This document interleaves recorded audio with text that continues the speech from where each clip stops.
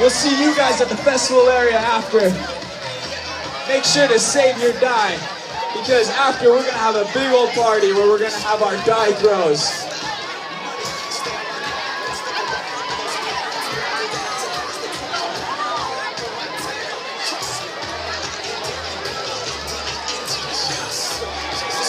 You see this guy right here? You'll, you'll see him pop out. He's a photographer.